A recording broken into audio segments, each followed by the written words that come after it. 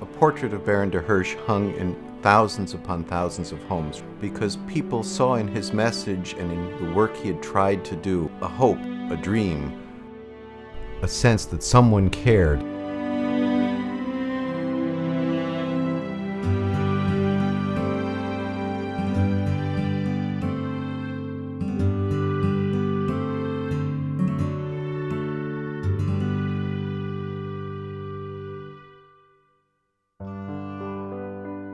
Born in 1831 and raised by his prominent family in a German Jewish community, Baron Maurice de Hirsch moved among nobility. After an elite education in Brussels, 17 year old de Hirsch entered into the family business, banking. While the young baron amassed wealth in Europe, his fellow Jews in Russia were enduring significantly different circumstances. The Pale of Settlement was a vast, desolate tract of land in western Russia where Jews were confined in poverty and persecution. In 1910, the Pale was home to 5.6 million Jews, 40% of the world's Jewish population at the time. In the Pale, bribery, harassment, military conscription, forced conversions, and pogroms were common. The Tsar's plan? Destroy all Jewish life in Russia. Meanwhile, Baron de Hirsch expanded his fortunes, pioneering, in cooperation with the Ottoman Empire, the creation of a railroad from the Near East to Europe. It was this venture that gave him the moniker Türkenhirsch, it also opened his eyes to the desperate plight of his fellow Jews and a unique solution to their problem. I shall try to make for them a new home in different lands, where as free farmers on their own soil they can make themselves useful to the country. My own personal experience has led me to recognize that the Jews have a very good ability in agriculture, and my efforts shall show that the Jews have not lost the agricultural qualities that their forefathers possessed. However, while Baron de Hirsch was planning to expand his immigration and training programs to aid the Jews of Russia, Theodor Herzl, a journalist in Vienna, was developing his ideas for a national political solution to the Jewish problem Zionism. In May of 1895, Herzl secured an audience with de Hirsch in his Paris residence to present his ideas. I consider the Jewish question neither a social nor a religious one, even though it sometimes takes these and other forms.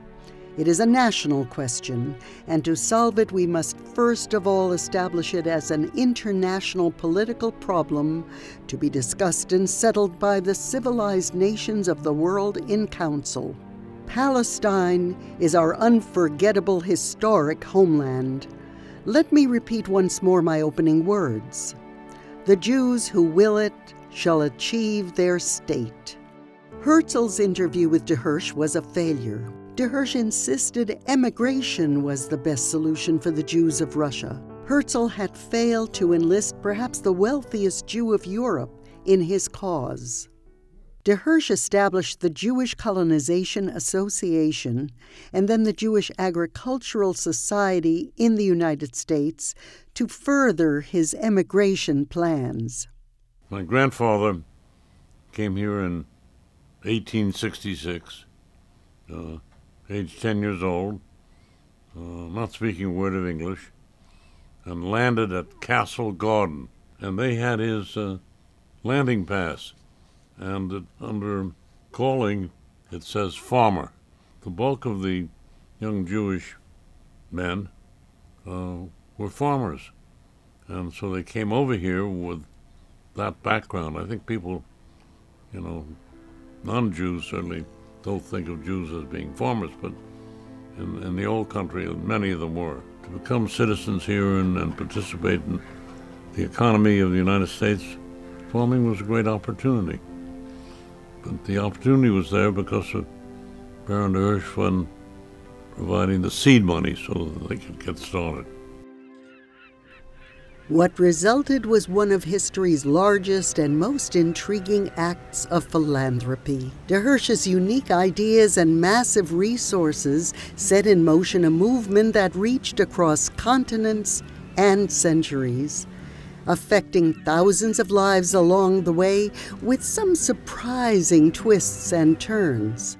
De Hirsch resettled Russian Jews in the Americas, North and South in South America, many successfully resettled in Argentina. In the U.S., many went to California, New Jersey, New York, Connecticut, and other states. Those communities, however, were not always known for their tolerance of Jewish pioneers. Christians who came to America in search of their own promised land may have given their eastern Connecticut towns names right from the pages of the Old Testament. But early on, they were apparently leery of the chosen people. Connecticut's early laws clearly reveal resistance to Jewish settlement. It was illegal to give food or lodging to Jews under the early codes of Hartford and New Haven. The Royal Charter explicitly denied Jews the right to build synagogues, worship as an organized group, purchase land for a cemetery, vote, or hold public office. In fact, not until 1843 were Connecticut Jews allowed to settle and worship openly. New York and Rhode Island welcomed Jews, communities that supported the American Revolution. George Washington even visited Truro, Rhode Island, and was warmly welcomed by the Jewish community. Washington wrote a memorable and important response to the congregation, affirming freedom of religion in the new country. He quoted a biblical verse Everyone shall sit in safety under his own vine and fig tree, and there shall be none to make him afraid. But Connecticut still did not allow Jews to settle and organize a congregation until the mid 19th century. Although de Hirsch's plan ultimately proved as rocky as the farms of Connecticut, where many of the Jewish immigrants settled, de Hirsch's impact was undeniable. Jews would eventually make up nearly 50% of some of these same rural towns, changing the cultural landscape forever. Jewish farms grew to be a significant market for farm supply companies. These firms took out ads in the Federation of Jewish Farmers Almanac. The ads appeared in both English and Yiddish in order to attract the growing Jewish farm community. The earliest and most active of all the De Hirsch agricultural colonies in Connecticut in terms of written mortgages was the small but vibrant community known as the New England Hebrew Farmers of the Emmanuel Society. Agudas Achim, which in Hebrew means an association of brothers, was the name of a small enclave of Russian Jewish immigrant families that were organized by my great great grandfather, Hirsch Kaplan, a whiskey merchant and a rabbi from Pereyaslav, the Ukraine, and he had arrived with his family in New York in 1888. Two years later, in 1890, probably enticed by the De Hirsch Fund agent, Max Polsky, Kaplan and his group decided to leave Brooklyn, New York for inexpensive Yankee farmland in Chesterfield. The industrious group immediately started small farms, growing vegetables, raising chickens, milking cows, and they would gather together to pray in Kaplan's farmhouse. And he also started a cottage business where pre cut fabric was stitched together and then carted to New London and shipped to New York as whole vests or jackets or pants or suits. And there were other families who also stitched wallets and suspenders in their homes. My father was in the Russian army fighting Japan.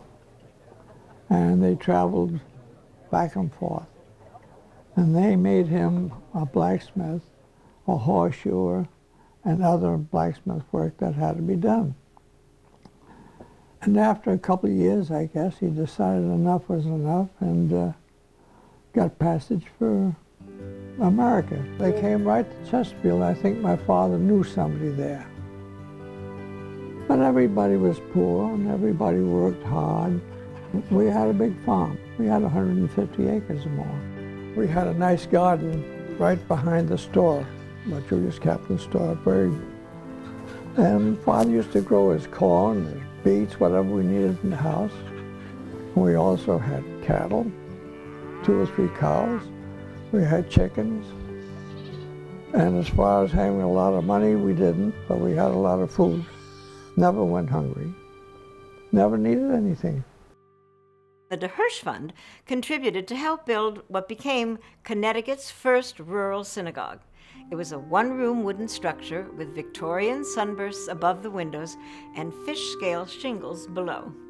The New England Hebrew Farmer's Ledger and Minutes book, which is a collection of handwritten entries, all in Yiddish, dating from 1892 until 1920, contains the formal constitution and the bylaws that the Society adopted in 1894, which called for meetings to be held in Yiddish and spells out the parliamentary procedure for their elections, for rules of membership, fines for synagogue misbehaviors, and a method of adjudicating disputes among members.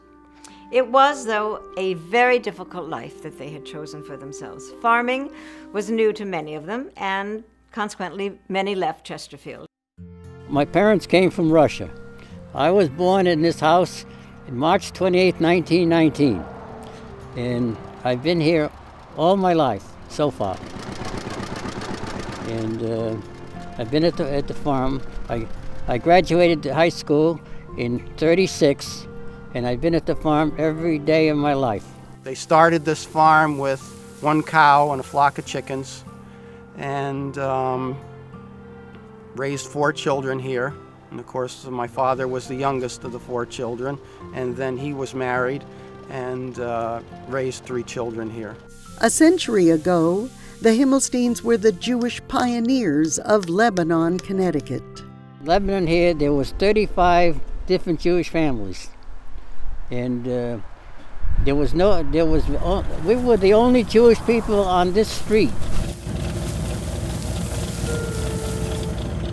My dad, Sam Friedman, came to the United States in the 1890s with, with his mom and other brother because during the night in Russia on the Polish border, the Kloppers came and took their oldest brother during the night to serve in the army, disappeared. And the family realized that the other boys would go too. So immediately, the mother and the son, two sons, immigrated to the United States. And they were apple pickers and berry pickers. I think my father was probably six because he started school. Colchester grew to become the largest Jewish farming community in Connecticut. Between 1881 and 1924, nearly 2 million Eastern European Jews arrived in the United States in search of a better life. Most of them disembarked in New York City. My father came to America uh, in 1907 from a little town in Bershad, Russia. Settled in New York, where most Jewish people settled at that time, because they ran away from the pogroms that they had in Russia.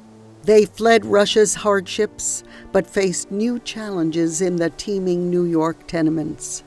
By 1903, in the Lower East Side of New York City, there were more than 1,100 people per acre, and it got worse. Numerous ailments prevailed around the turn of the century on the Lower East Side of New York City disease from immigrant ships, lack of code enforcement, and constant fear of fire made life intolerable. From the youngest to the oldest, they were shut in cramped rooms, forced to live in substandard conditions. For those living in city squalor, a mortgage for a farm was the ticket they needed. DeHirsch's financing of farm purchases held an irresistible promise of open lands and endless possibilities.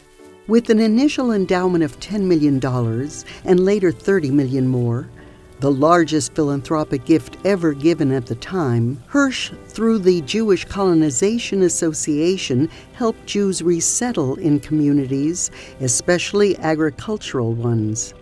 Many Jewish families seized the opportunity that de Hirsch's fund offered, a decision that would take them in directions they never could have imagined. For those Jews who remained in New York City, the Great Depression later gave a new impetus to seek relief and a livelihood on farms in Connecticut. Everything was an adventure. Everything, uh, working with the chickens or working on the garden or working with the hay. It, uh, we were young and strong, and uh, we didn't mind it at all. Clara's family left New York after losing everything in the Depression. With the help of de Hirsch, they bought a farm in Bozrah. Clara's husband's family also bid city life goodbye. Years earlier, they too received de Hirsch's assistance to find their way to Connecticut soil. He came up by ship from New to New London from New York. Uh, I don't remember what name of it was, but that ship also carried not only human beings, it carried cattle, horses, and whatnot. They bought this farm in Lebanon on East Haven Turnpike and Partners in 1913. And uh, of course, they had uh, about uh, maybe 15, 16 cows and a pair of horses and, uh, you know, simple farming implements. I uh, learned to milk a cow, so I guess I used to milk one or two cows. Of course, my father made sure the ones that I milked were friendly. They didn't lift their feet, you know, and put them into the pail. While the early Jewish farmer immigrant experience was typical, the influx of refugees caused some anxiety in America.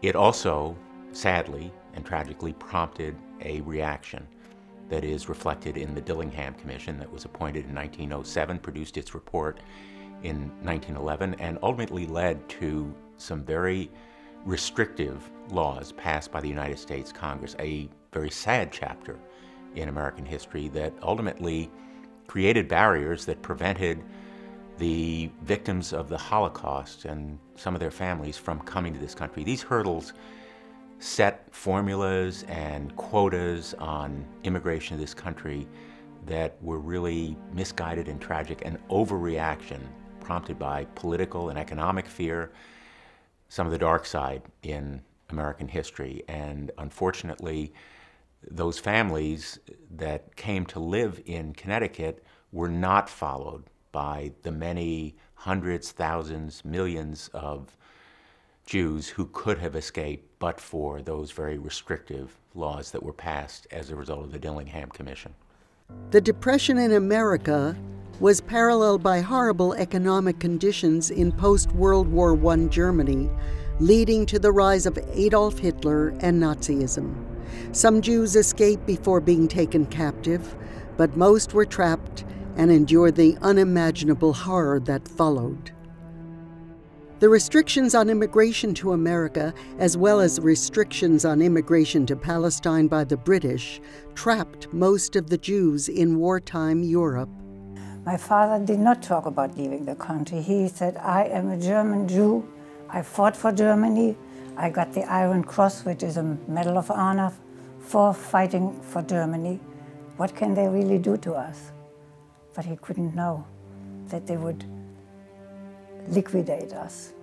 Henny's father escaped to Shanghai, planning for his family to follow, but Henny and her mother were trapped in Germany and forced into a ghetto and then endured work camps. 2,000 people were trucked away. After one hour, the trucks returned loaded with coats, shoes, bags with food, bags with, uh, from doctor bags, All those people were already in Dünamünde. But Dünamünde was not a camp. It was a mass grave. Henny's mother was not on that transport, but was eventually killed. Later, Henny and her fellow Jews who had moved from ghetto to work camp to prison were finally liberated by Russian soldiers. But we walked out of the prison and met three Russian soldiers. And they told the Russians that we were imprisoned as Jews and you just liberated us. And one of the Russians was, he was a Jew. He broke down. He said, you're the first Jews we liberate alive. Henny's father, by way of the Hebrew Immigrant Aid Society, went from Shanghai to America. Henny and her family decided to go to America rather than go to Israel. So we decided we do go on a farm. There's a farm in Colchester. So what is Colchester? Where is Colchester? How do you get to Colchester? And we went to Colchester to this guy, to Mr. Berkovich. And he took us around, showed us various farms. And then he showed us a farm where, where I am now. And we talked with, uh, we liked that. And we gave an, an offer. But the owner didn't agree. So we went back home. After, I think after two months or so, Mr. Berkovich sent us a card. Come here. I got the farm for you, for your price. Well, we packed our stuff and went. You know what the farmer told us later? You know why you get the farm? I could get the price what you what, what I wanted. But those people came with, his, with their women, left them in the car, and they threw all their orange peel in the yard. And your wife came into the house and said, do you have a garbage pail here for the orange peel? The orange peel gave us the farm. Unfortunately, many of the Jews in America didn't even know what was going on with the Holocaust. Newspapers like the New York Times buried it on page 40 or what have you. So it wasn't frontline news. And then suddenly these people are coming in. Maybe they viewed them as potentially posing some kind of trouble or, or something for them at some point. But they were already integrated into society. We were not treated by, by the dealers that well. One dealer, our first batch, instead of selling us layers, he sold us broilers, which we did not know. And Mr. Berkovich comes into the farm and he said, Berkovich, those are not layers, those are broilers. Get rid of them. They will not lay eggs for you. So we had right away we had to start with a loss. When we built that house, my father did all the painting because he was a painter. 13 years he had with us. I fired him after a while. He was helping in the chicken coop, collecting eggs and, and grading the eggs. And he was breaking too many. I said, Pa, you worked enough. Go home. Watch Jenny. so he was babysitter. I was born in Russia, in Minsk. And then as a child, my parents migrated to Poland. And there where I lived till the German occupied our territory and I was taken to concentration camp. Gowendo's desperate bravery is what helped her survive the horrors of that camp. People were dead all over. It was nearly done, a big pile of people. And all of a sudden I hear shots. So I don't know, I sneaked in under a bed and I was laying. And then it quieted down. So I thought I'll move out, but it didn't take long and again they start shooting and that hit me in my body and I was bleeding. So I went under, from under the bed and I let the blood run. And then with my face, I lay down on the blood. And two SS women came in and said, she, she, take a look, is she dead? And they were standing on me and I hold on my breath. Oh, she said, she is dead. And they went away. Gowendo and survivors like her took their chances in the New World. And just like their predecessors who escaped the Russian pogroms, many of these new immigrants ended up in the tenements of New York City. when I saw this place, and they gave already a deposit of five dollars, I don't remember how much it was. So, so I said to Ben, "Do you expect me to move in here?" I was crying like anything. I scrubbed, I washed, I cleaned that a day and a night. Thank God we went to bed. We went to bed in the middle of the night, cockroaches, bugs, you name it. I felt like to run back barefoot to, to Europe. This is the way I felt. I said, This is the golden Medina that I came to. Seeking escape, many of these new immigrants turned to the same solution that their predecessors had Baron de Hirsch. Although de Hirsch himself died years earlier, his assistants lived on with the Baron de Hirsch Fund, established in New York in 1891. Its main goal help Jewish families escape urban centers and resettle on farmland. If these new farmers were going to succeed, they would need training and assistance. A subsidiary of the Baron de Hirsch Fund, the Jewish Agricultural Society was formed in 1900 to promote farming among Jews in the U.S. The society settled about 4,900 families on farms and extended almost $15 million in loans to farmers in 41 states. Encouraged by this assistance, buying farms became an increasingly popular solution for Jewish families trying to succeed in America. He wrote me a letter and said, uh, Should I buy you an engagement ring? And I said, No, let's save it for a cow.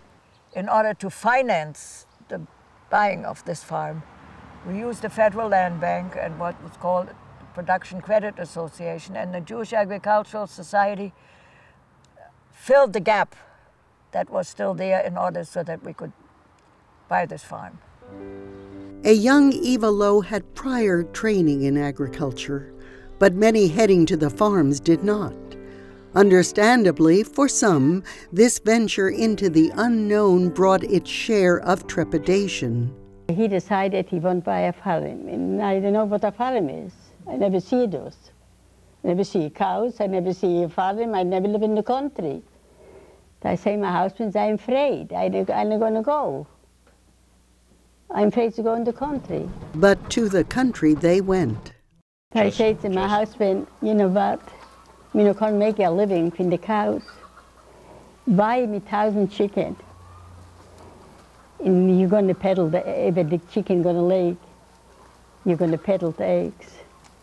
You say, I shame. I say, Abby, it's not a shame, please. Then I say that uh, this family can say, I want to do help you, to you no shame say I'm going to do this for you. You were the best husband. You know, couldn't find a better husband in the world. My husband brought to me. To support the novice farmers, the Jewish Agricultural Society provided professional consultation by the way of people like Ben Miller, who was often in the homes of new farmers throughout Connecticut. Word of mouth was look, uh, there's this guy Miller who will talk to you. Um, and, uh, and they did. They talked about um, alternatives to what they were doing at the time. My mother was a, uh, working in a sweatshop at the time, my father in a, uh, in a luggage factory. And uh, living in, it was largely a tenement. I mean, it was a pretty depressing, crowded, unattractive place to live. And the story the opportunity that was uh, presented was look, you can raise your child in the fresh air, you can have fields, you can have trees, uh, running water, and most important, you can be your own boss. You don't have to be in a factory. You can be in charge of your schedule, you can have true freedom. Uh, and this resonated very much, pretty much with anyone that, uh, that spoke to Miller.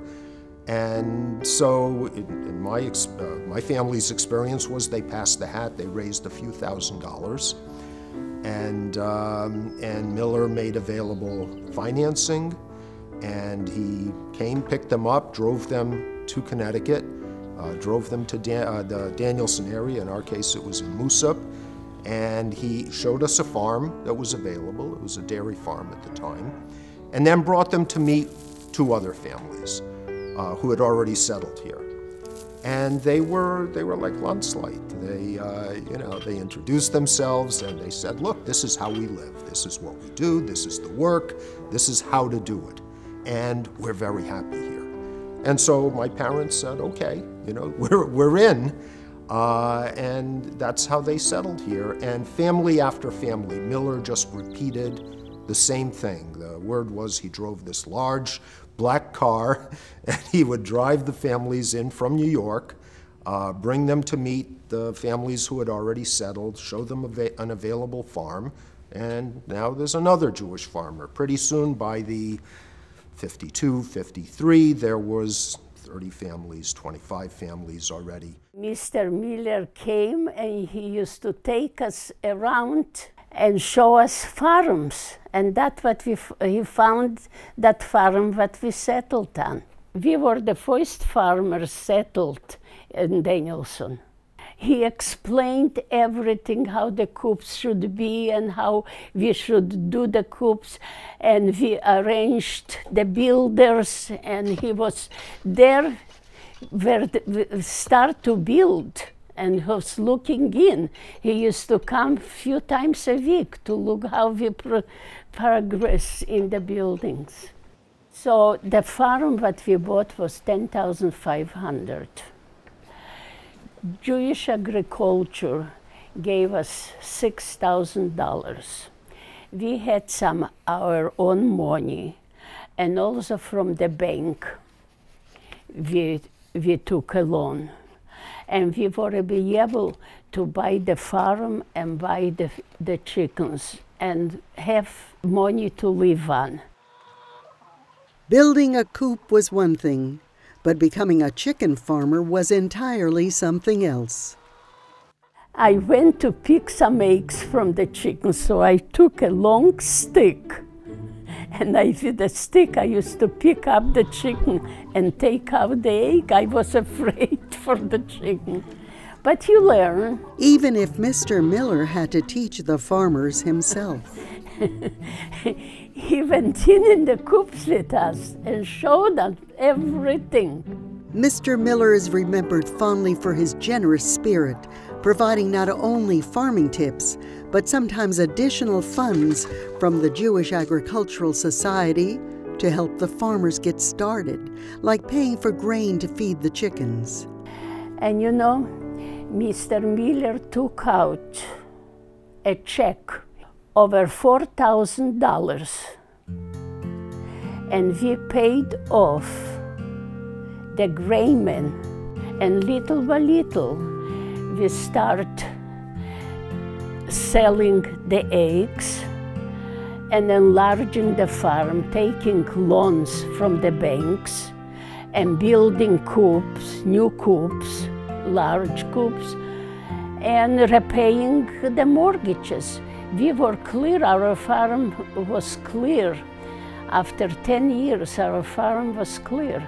And towards the end, we had, I think, but 30 or 35,000 chickens.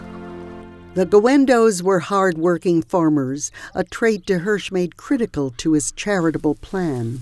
I contend most decidedly against the old system of almsgiving, which only makes so many more beggars.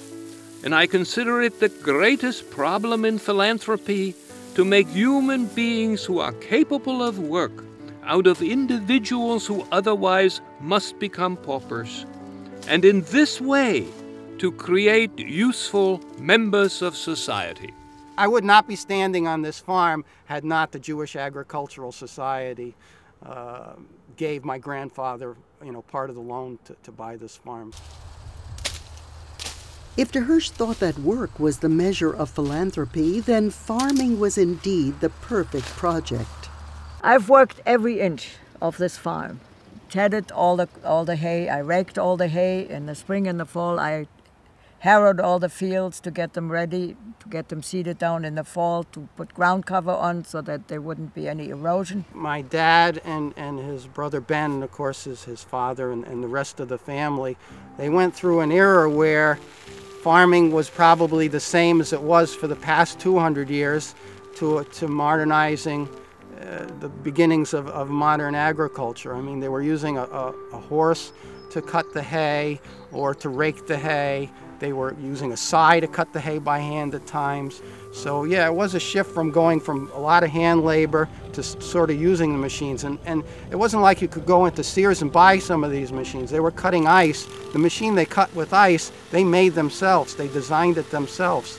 They, they used a, uh, a blade that you would normally use to cut wood and they mounted it on a motor and they were literally cutting ice for themselves with the machine they made. So they were they built their own hinges. They, they, they built they did all their electrical work, the carpentry work. My father did his own veterinary work. And they moved these rocks in here as well as all the rocks that are on the edges of this field. They worked pretty hard with a crowbar and some leverage. Both of them were probably no more than 150 to 160 pounds soaking wet, probably around 5'4". And the stone was so heavy they actually had to chain the two tractors together and then have a drag in the back of one of the tractors in order to pull it off the field.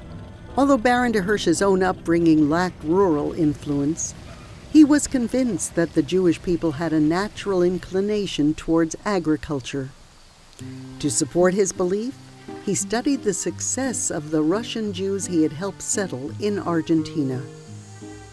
These families, which a few years ago, bending under heavy burdens, appeared to be only wandering tradespeople in Russia, have now become thrifty farmers who with plow and hoe know how to farm as well as if they had never done anything else. They lay out their farms in the best manner and build themselves such pretty little houses that everyone in the vicinity employs them as carpenters in house building. The knowledge of this guides me in my work, and I am now setting out with all my strength to accomplish it. De Hirsch bet his fortune on the theory that Jews would become thrifty farmers but things didn't always work out as he envisioned. It was a dairy farm. Well, Mr. Weingrad knew from New York, going on Sutter Avenue, that radishes, black radishes, were a delicacy. And they sold for like two, three dollars a bushel, even in those days. So Mr. Weingrad, my foster dad, planted an acre of black radishes. And when they became ripe and ready, he put them in a basket and he took them down to our Jewish Chasen grocery store in Willimantic, and he thought he'd sell the, the radishes to Mrs. Chasen. And he, he, he had maybe a thousand or 800 bushels of radishes. The whole acre was full of radishes. They're like beets. They look like beets, if you know. And she says, what? I sell a bushel of radishes in one year. I can't sell radishes. So Mr. Weingrad took the radishes and he cut them up and he started feeding them to the cows. But then the, the milk company returned the milk because it made the milk sour. And he lost all that profit from the milk. They wouldn't take his milk, uh, the company in Providence. So that was his great big disappointment right away with the radishes. Sour milk, good for pigs, but not for human beings. There are many tales that come out of these farms. Uh, there's the famous story of the man who only fed his horse every other day and was surprised that the horse didn't work very well for him. There was a farmer who had a field of wheat and mowed it several times before finally complaining to the local agricultural agent that the wheat never seemed to get cut. Then the agent went out and discovered he hadn't put knives on the reaper before he mowed it. There was a farmer who was famed for planting huge fields of onions and then deciding that to stoop over and weed the onions was too much work, so he hired people to weed the fields for him. But he didn't know, and hence didn't teach them the difference between a weed and an onion, and they successfully pulled up all of the sprouting onions and left him a field of weeds. It was a tough life. It was always next year be better, next year be better. They always, the, the, the farmers were always living in hope. De Hirsch gave to thousands the opportunity for a new home and lifestyle. But what many of these new farmers found in Connecticut was more than they bargained for. These were hardscrabble farms that had ultimately been sold by their last owner because they had been unprofitable and had failed. Um, those who have spent time in these soils know that the one thing that always does grow is stones. This unfamiliar and unfit land was a source of constant struggle. Overworked and overwhelmed, some eventually abandoned the farms.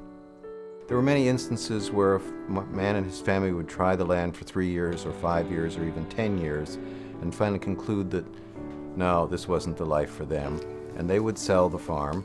Baron de Hirsch agents were ever available and would turn the farm over to another Jewish family. There were cases where the same piece of land might be turned over three or four times, each time funded by a Baron de Hirsch fund mortgage, as yet another family tackled this difficult, trying land. Yet, despite this trying land, some of the farmers persisted, facing the many challenges that beset them. One time, I guess, when uh, my father was away and uh, when the house caught a fire, and there were no fire companies around that time, and if you couldn't put it out yourself, it was a goner, and that's what happened. Our old farmhouse uh, burnt down in the early 30s, and then we had a hurricane that came through here and wiped out our barn. 1938 hurricane demolished the uh, chicken coops.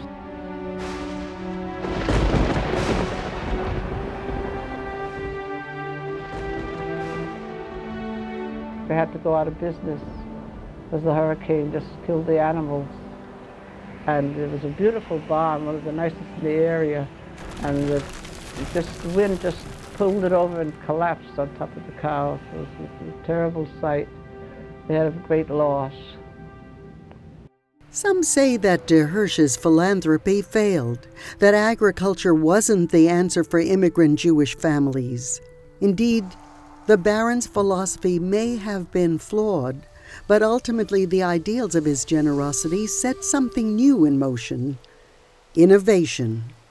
The intrepid Jewish families that remained on their farms found new ways to flourish. All the time we had cows, but when the bomb was wiped, out and making a living from cows was pretty precarious, uh, I, I helped uh, tear down the barn and we took the lumber and built our first chicken coop, I believe it was in 1937. So we started into the chicken business. Embracing de Hirsch's gift of the rocky soil, they turned boulders into stepping stones by opening resorts and even dabbling in other more controversial activities. This was the time of prohibition in the United States. But there was a dark side to our Jewish brethren, and they had to be in the bootleg business. They would have homemade stills like in, in the Ozarks or in Appalachia with the copper kettles, with the two kettles, with the round pipes, and they would make moonshine. And this was another income sideline On the less illicit side, Jewish farmers found other agricultural solutions to the stony soils. The son of a dairy farmer, Mark Wolf secured the success of his farm by pioneering a new fertility process for dairy cows. Of course, it was the chicken business that, for many, presented the most viable, lucrative option. We had a hundred and some acres, and it was a lot of rocks, so there was very little open land. So there was enough, only enough hay for, say, 12 or 14 cows. Well, there was no way in the world that anybody could make a living from 12 or 14 cows. So I decided to go into the poultry business. And then a few years later, I built another coop. And then a few years later, I built another coop. And that we just kept building and building every few years, we or every year, we'd build another building. And that's how we grew. Kofkoff's expansion caused some resentment. There was a lot of animosity towards me because they could see me keep growing and growing and growing, and as I grew, they were going out of business. As far as most farmers, I felt sorry in a way, but in another way, I knew that if I wanted to get big, there was only one way to get big, and that was to buy out other people. But ultimately, His success earned him the accolades of the industry. That was quite an honor to be picked as the best in the United States because I think there were like 40,000 uh, farmers, they said at that time, were in the egg business. One of the most popular ways Jewish farmers found to survive was by turning their land into summer resorts. It usually started with just a few relatives, escaping the city's heat for some fun in the country sun. But as the word spread, paying customers brought just the boost that Jewish farmers needed to supplement their often meager agricultural income. In the early 1900s, the Storrs Hotel in Storrs, Connecticut advertised itself as a kosher hotel within walking distance of the Connecticut Agricultural College where guests could see motion pictures. My mom uh, was the manager of the hotel. My grandmother was chief cook. My grandfather uh, was out questioned the cigar smoking, pinochle playing social director. I don't think he did much work, but you know he made things interesting. Uh, he bailed, you know, waiters and, and dishwashers out of jail when they got in trouble, and, and he, you know, always had a joke and a cigar for somebody. My Aunt Rose, who I always thought was a little weird, uh, probably did work in the background. I don't think she was ever a waitress because I couldn't imagine her serving anybody. Uh, but she probably made beds or made sure rooms were tidied up. The hotel guests were a lot like family. These were people that came back year after year after year. And, and if you didn't know better, you'd start calling them aunts and uncles. I mean, that's the way it was. At that time, people were uh, very casual. As long as they had a place to swim in and uh, huckleberries to pick and room for the children to roam around, they were happy. They didn't have to provide any entertainment at all. And so that went on for a number of years. Some of the people would prefer to be fed, and so my mother did provide meals for those. And the others were, as they say, kachalein, and they took care of themselves. They'd go to the cow and take the hot milk right from the cow and drink it. They thought that was the greatest thing. They entertained themselves. They'd go down to the pastures and strip down and get sun. They'd pick blueberries. They'd go to the lake, maybe. But as the crowds grew, so did the entertainment headlines. When I was growing up, on a summer night, you could stand outside here and listen on a Saturday night, and you would hear sounds from these resorts, you know, Banner Lodge, Grand View, right across the road, Wiener's Hotel, Orchard Mansion, Ted Hilton's, now known as Frank Davis, and all these big resorts, and you would hear all the, the sounds that people would be making on Saturday night or Friday night. Pool sounds early in the evening, loudspeakers, people making announcements, lots of laughing. And it was amazing, you know, that in this country area you heard all of that. Moodus at one time, I think in the 1950s, it peaked with over 50 resorts. Many of them were Jewish.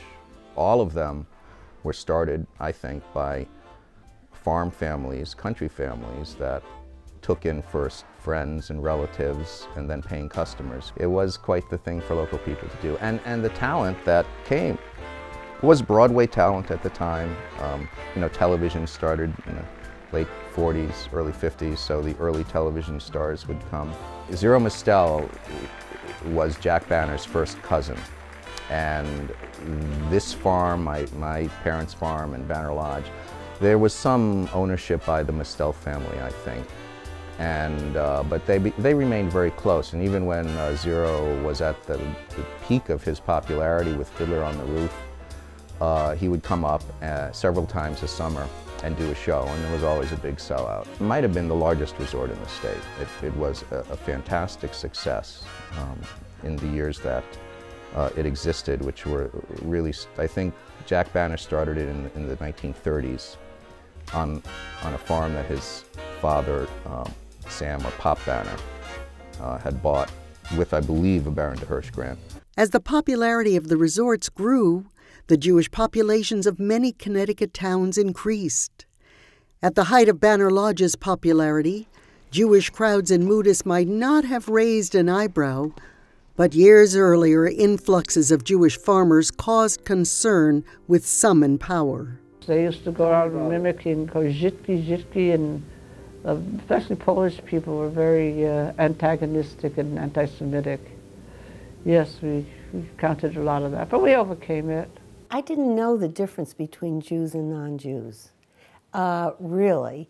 Uh, uh, my, my best friends were not Jews because there weren't that many Jews, but I do remember when over in the fourth grade when I was walking home from school on, on Hall's Hill, and he, he wasn't very nice to me. I knew that the, some non-Jews didn't like Jews because he called me dirty Jew. And on the way home, he pulled me my ponytail one last time, and I beat him up, and I ripped his shirt off. And I ran home crying that I beat up him, and he's poor, and I ripped his shirt. And my father said, good, good. He'll never do that again, and none of the boys are going to do it again to you because you can beat them up. My father went, was elected to the state legislature in, in Hartford, Connecticut, two times for two terms as a Jew. And, and he went and he was elected, and there weren't enough Jews to elect him. The Republican leaders saw him as a likely good candidate, a good guy, handsome, with red hair, and liked people. And so they elected him. He worked very hard, he electioneered very hard. And they had a family who went out and got voters, probably. The Daughters of American Revolution gave an award every year at the high school. And lo and behold, I was awarded the award. And here's my pin, I've even got it. I was 16 years old in 1949, and I got the award. I was the first Jewish girl to get the award. Miss Day told me that. She said, Rena Bell, you're the first Jewish girl and you deserve it. You are a lady and you will always be a lady and you're going to go to school and get educated. And we're going to always be proud of you. So when she told me that, I knew I had to live up to that. Jake Berkowitz, the real estate agent who sold farms to many Jews, not only brought Jews to rural eastern Connecticut, but also helped African Americans settle there. He was an all inclusive guy. And he did some blockbusting. He was probably one of the original blockbusters. Because Schuster's Express was one of the largest, I would say, employers in Colchester. Huge trucking company, 18 wheelers. I think they covered from Maine to Florida up and down the East Coast. And they started hiring black drivers. And there were areas where the black drivers couldn't, um, they weren't welcome in some of the neighborhoods and the housing. And my grandfather put them in, one way or the other, and he helped a lot of families. Mr. Fletcher drove for Schuster's Express. His kids all went through Bacon Academy. Um, I've been close to them. We've all been close to them for years. And uh, my grandfather got them into their first home. And I, am not certain that the neighborhood was that welcome, but one way or the other, he got them in. He, he helped integrate them. By and large, the Jewish refugees from World War II did have a good reception in rural Connecticut. Talk came to uh, what do we do now because there's so many of us. You've got children. We need uh, Hebrew school. We need a place for services. We can't do this thing at people's homes anymore. Um, so they decided, look, it's time to build a temple. And the issue was, well, you know, where do we raise the money? Because nobody was, was well heeled at that point. And uh, someone floated the idea, look, let's reach out to the, the community.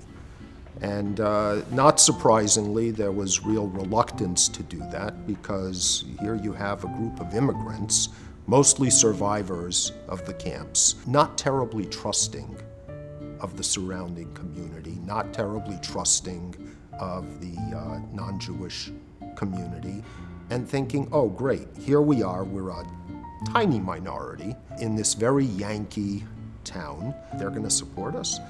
And uh, the American, the, uh, the Amerikaner, uh, said, look, you know, we have a nice relationship with our neighbors here. Uh, let's try it. And so they did. They reached out and were very pleasantly surprised because uh, the local churches, um, the businesses, the banks, all were more than generous and delighted with the notion of, yeah, let's, let's support this group of people. They deserve a break. they deserve an opportunity where there's no question but that they're going to work hard, that they're going to be good citizens. And there was this outpouring of generosity, money, and a real sense of welcome. They had minyans in, in people's homes, you know. My father was involved, uh, a bunch of the farmers in Hebron. They built a little synagogue, and it was Orthodox. And that's where I went when I was a kid. My father used to walk four and a half miles to go to synagogue on Saturday morning. And they had to be there by 8.30. So you, you had to milk the cows, feed the chickens, and then walk four and a half miles. Of course, there were a lot of Jewish farmers in the area, and also Polish. We got along with the Americans, and uh, other than that, uh, we never found any problems. I never heard one bad word. We all got along. It was wonderful. Everybody knew we were Jewish, but we didn't talk about it. And we knew everybody else had a Christmas tree. Well, we never thought twice about it. And the people out here were amazingly tolerant. More than tolerant, Jewish and non Jewish alike truly became rural American farm neighbors in every way. We helped all our neighbors. It, it, it didn't make any difference they were Gentiles or not. And uh, if their cattle were out, we put them back where they belong. And if the neighbor was sick, we, we milked the cows and, and fed them and took care of them too, just like anybody else. The fire wasn't until 1959. One night in June, everybody was asleep and I heard the dogs bark. And I looked out the window and the far end of the barn was fully engulfed in flames. We were lucky the cows were out already the night. We lost two calves. The barn burned all the way. The only thing that's left of it is the old milk house over there. Farmers came from all over to help uh, build up, build the new buildings, hammers and, and uh, saws. And not only did they come once, they came for many days, some of them, put up the new buildings. As De Hirsch said, his hope was to provide his fellow Jews with the chance to truly become citizens in a free society, and indeed in Connecticut, they did. The Second World War started. The Jewish community of, of uh, Columbia and Hebron got together and said, let's do something. So they sponsored to raise money and donate an ambulance. These sections of the report describe some of the personal characteristics of these families who came to Eastern Connecticut. Fascinating reading even today. In general, the Russian Hebrew has proved more apt in civic relations and in commerce than in agriculture. He is likely to become a citizen sooner than most Eastern immigrants and to take a more intelligent interest in politics, fewer literate, and practically all of the American born or minors have been in the United States 10 years and they can speak, read, and write English. The Hebrews have demanded better schools nearly everywhere they have settled. They are not content with the financial returns from the farms they occupy, but they are less content with their educational advantages. Whatever may be said of his agriculture, the Hebrew farmer is a thinking, protesting citizen. Embracing freedom, they established their faith with synagogues. Demonstrating the essence of citizenship, they contributed to local government and education. In fact, the Jewish farmers had become such a part of New England life that during the Cold War, the American government, which years earlier had issued the ethnic investigation, now touted in a Russian language magazine the Jewish farmers' success as a pillar of propaganda against the Soviet Union. And I grew up, I thought everybody who was Jewish had a farm. And so that it was nothing out of the ordinary for me to see Jewish farmers. Later in life, I remember people being shocked and in disbelief that there were Jewish farmers. People used to kid me all the time uh, when, when, when they knew I grew up on a farm with that old question, What's a Jewish boy doing on a farm? Whether congressman or pilot, the answer most often was that they were descendants of the Jewish farmers who, at one time or another, braved the stones and the unknown of rural Connecticut. Eventually, new technologies and changing times led to a general decline in farming. The decline of the farmers because the, Jew, the uh, younger generation got educated. They want to go to high school. They went to high school, then they went to college. They got educated and they didn't care about farming. They could make a better living because farming was seven days a week. Holiday or no holiday, Yom Kippur or no Yom. You got to be there to feed, feed the chickens, feed the cows, and uh, milking them. Not everybody is, is cut out. It has the mettle, uh, has the desire to do this type of work, to do this as a vocation. Um, if my sons choose to pick this up as a future, as a, as a way of life, that's fine. That's wonderful. Uh, but uh, uh, there are very few people anymore that are of the uh, train that my children will do as I did. With time, the Jewish population in many of these Connecticut towns began to dwindle. Families moved from the rocky soil to more mainstream city and suburban lifestyles. I had Jewish friends within the community, uh, you know, kids I could hang out with. There were a lot of Jewish farmers in this area. Um, we go to a town here has a small school. There were seven Jewish kids in my class. I believe my son is the only Jewish boy, and uh, he's one of two Jewish boys in the entire elementary school system. It was the end of an era. My brother's uh, back went out, and luckily I'm out of session, so I'm able to help him. Uh, but basically, we've sold the herd, and this is the end of almost 50 years of operating the farm. The Jewish immigrants of eastern Connecticut who became farmers in our state left a remarkable legacy and heritage. And even today, we feel and sense the incredible benefits that all of our state has reaped from the culture and work ethic and sense of personal pride and morality that they brought to Connecticut. And this paragraph, I think, summarizes some of that heritage and legacy. In some senses, they have raised the social, moral, and educational standards of the settlement. They are ambitious, if pessimistic, and a good many have more energy than some of the native stock.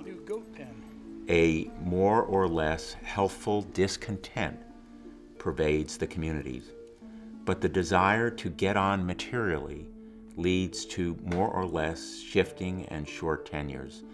Very little race prejudice manifests itself in business or in educational affairs. There is a social race cleavage that is mutually respected and generally observed. And of course, there are no religious affiliations with Gentiles. In general, the Hebrews are respected, especially the early settlers, as neighbors and citizens, but the opinion prevails that the majority are not good farmers. Occasionally, some of the family or friends come up and want to see the place, we discourage them because there's no sign of what used to be. But I have memories. When de Hirsch's only son, Lucien, died at age 31, de Hirsch declared, Humanity is my heir. He threw himself completely into his philanthropic efforts and ideology. Before his own death, he left his wife Clara as the sole administrator of his fortune, knowing that she would further his life's work and legacy. What results are to follow from my philanthropic labors? what I desire to accomplish, what after many failures has come to be the object of my life, and that for which I am ready to stake my wealth and my intellectual powers, is to give to a portion of my companions in faith the possibility of finding a new existence, primarily as farmers, and also handicraftsmen, In those lands where the laws and religious tolerance permit them to carry on the struggle for existence as noble and responsible subjects of a humane government. Agriculture might not have been the quintessential answer as de Hirsch had intended. Nevertheless, the farm life he greatly inspired left its impression on Connecticut and on the Jewish families that lived it. After the Great Depression in the 1930s, descendants would return to their families in Chesterfield in order to attend the high holiday services, as I said, but probably only until the late 1950s. Then the synagogue was vandalized and unfortunately burned to the ground in 1980. But there still was this very important and precious legacy that we all wanted to protect. So in 2006, 19 direct descendants signed affidavits and they legally reactivated New England Hebrew Farmers as a not for profit religious corporation in the state of Connecticut. With their membership contributions and funding from the Connecticut Commission on Culture and Tourism, the New England Hebrew Farmers of the Emmanuel Society Synagogue and Creamery site was named as Connecticut's 24th State Archaeological Preserve in 2007, and then it was listed on the National Register of Historic Places in 2012. To further understand their history, the organization welcomed the University of Connecticut's Archaeology and Judaic Studies Field School dig. The dig methodically excavated the basement of a 1912 dwelling on the site that was used by the shochet, or the visiting ritual butcher and cantor. Interestingly, it still contained a mikveh, a stepped pool used as a ritual bath. In particular, this was largely a community of poor Eastern European uh, Jews, and to go to this expense and build this uh, elaborate, involved structure, and to do it in accordance with, uh, with halakha, Jewish law, again, is a testimony to their determination to maintain traditional Jewish life. I loved being on the farm because, you know, I could do what I wanted to. I could go where I wanted to on the farm because Pop didn't, he didn't drive. There was no money. I had uh, bib overalls that I used to wear as a kid, and there was more patches than there was overall, you know. But it was, it was a nice, clean life. It was, it was a good way to live. It's the lament of every kid that grows up in a small rural New England town that there's nothing to do. But once you leave the town and you grow up and you have a family, you realize that there isn't a better place in the world to raise children or a family than in a small rural New England town. Kids that I grew up with, I know really have a strong work ethic. And I know from my own personal experience, that work ethic has now been passed on to my children. I think it's because of my parents getting the opportunity from the Baron Hirsch Society to, you know, get a new life, a new start, you know, when they came to this country rather than have to work in the sweatshops in New York City. You know, they got the opportunity to come, you know, out and start a whole new life for themselves. I think it made them very responsible children, very responsible adults because farming is, is a very basic thing. You have to have uh, worry about nature and you have to worry about the health of your animals. And uh, you can't just say, well, I won't milk them today or I won't take them here to the pasture today. There's a certain regime that you have to follow. And the kids knew that and they did. And it made them very responsible adults. Not only was farm life a teacher, but in the cases of the Low and Himmelstein properties, the land itself lives on as a forever green land preserve. The state uh, bought the development rights. My dad didn't live to see it, but I completed his wish. The development rights, which we always wanted, really enabled us to save the farm because it was the only way uh, I would be able to pay out the, the, the, loan that I had to take to pay out the non-farm relatives. And also what was left was able to uh, you know, help me maintain the farm and preserve some of the farm buildings as well. So it was really critical to the survival of this farm. And to the best of my knowledge, I probably was the last person in the state to receive a Baron de Hirsch, uh, funding from Baron de Hirsch to go to college. I always call myself one of the Jewish, uh, the Jewish last of the Mohegans there. if I don't tell the story and if I don't preserve the history, it's, it's going to be lost with me because I'm the last one that had any direct contact with the people that farmed this actively and, and did the work on this farm. So there's been a Himmelstein on this farm for 97 and a half years now. Very, very happy to have been born in this country, in this area, with these kind of freedoms that are nowhere else in the world. Interestingly enough, as patriotic people who were kicked out of their own country, they are the greatest patriots ever. My mom to this day loves a parade and has instilled in us a responsibility that goes along with the freedom, not just the privileges. And I think that has helped us in our personal lives, in our work lives, in the direction we have for the futures we see for ourselves, is that sense of appreciation and responsibility. There's an old Hebrew saying, Mitzvah goreret mitzvah. One good deed generates another good deed.